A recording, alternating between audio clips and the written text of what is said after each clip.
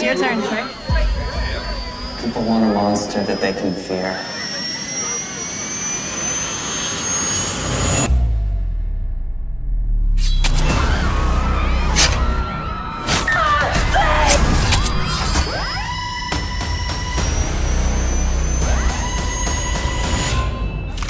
Get down! You discharged your weapon five times into the guy. How's he still alive? He isn't. Trick comes back every Halloween.